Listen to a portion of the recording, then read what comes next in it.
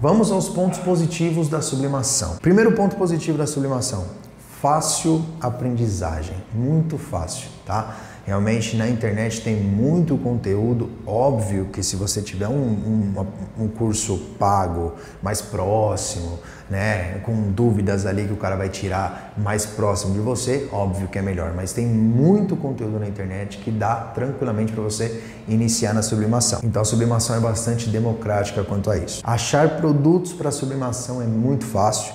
Achar impressora para sublimação é muito fácil, achar prensas para sublimação é muito fácil. Sublimação pode ser feita também na sua casa, você não necessariamente tem que alugar um espaço ou ter um espaço muito grande para sublimação, tá? Uma sala de casa já dá para você ter uma empresa de sublimação. Sublimação é um processo rápido, fácil, né? Então a pessoa chegou na sua loja, você pode ter um balcão, né? Com as máquinas lá, a pessoa pede uma camiseta na hora com a arte que ela quer na hora, que ela quer escolher na hora, você consegue fazer. Tá? Essa é uma vantagem muito boa da sublimação. Existe todo tipo de produto de vestuário para sublimação: camiseta, boné, cueca, é, chinelo, meia, é, short, calça, é, sapato, tênis, tem muita coisa. A parte de vestuário completa tem para sublimação. Lenço, máscara, viseira, o que você imaginar tem para sublimação na parte de vestuário. O leque também de brindes na parte também dá para trabalhar com brinde na sublimação, tá? Também dá. É que são produtos um pouco mais caros, então é um pouco mais difícil de você vender em quantidade, porém dá para trabalhar com, com brinde na sublimação.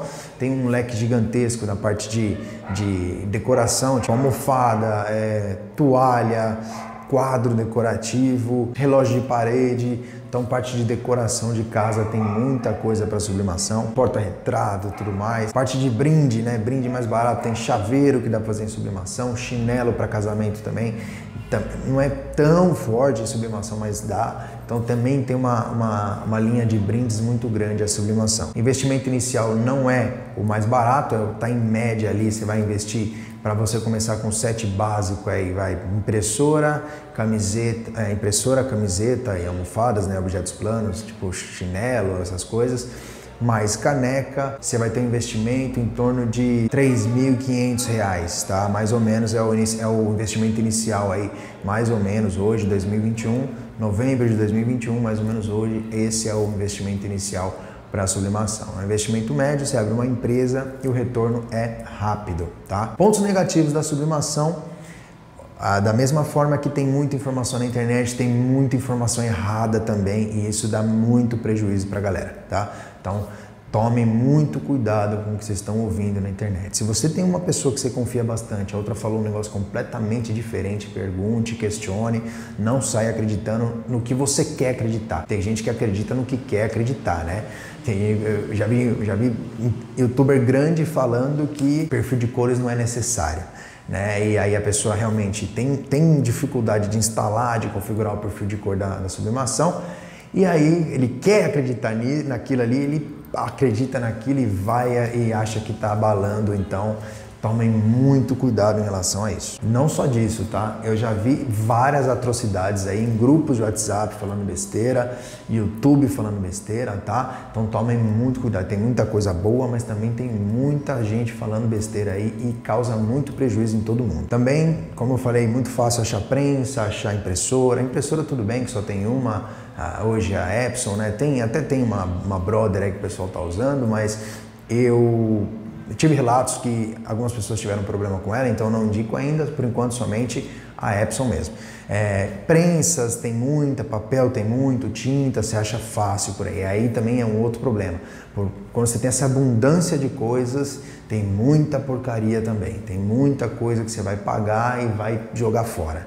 Né? Vai passar os três meses de garantia, você vai jogar fora, o prejuízo é grande. Então também tomem muito cuidado com isso mesmo ponto positivo que ela tem, ele traz esse ponto negativo né, nesses dois primeiros casos que eu falei, porque justamente por ter muita gente fazendo, gente que não entende nada, gente que entende muito, e essas que não entendem nada acaba prejudicando a quem está iniciando. Então tome muito cuidado. Outro ponto negativo da sublimação, no caso de camisetas, não estampa algodão. Esquece, pode esquecer. Algodão e sublimação, esquece ah, mas tem um adesivo que você sublima o adesivo e cola na camiseta. Tudo bem, mas sublimação direto no algodão não existe. E outra, esse adesivo que eu falei, eu totalmente desaprovo, tá?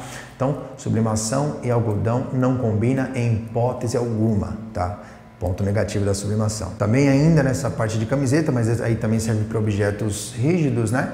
Uh, objetos de cores escuras, não estampa. Objetos de cores claras, tipo um amarelo claro, um rosa, até estampa, mas não fica tão perfeito quanto no branco.